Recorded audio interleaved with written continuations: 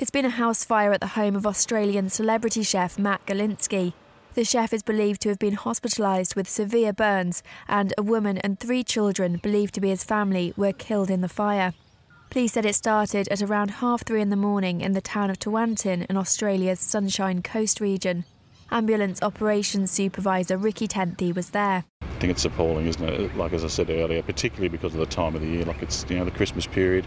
It's a, it's a time for us to gather with our families with you know happy times and you know safe times, and this is just an appalling tragedy. Golinski is a popular local personality who appears on Australia's Ready Steady Cook. The cause of the fire is unknown, but police say their investigations are continuing.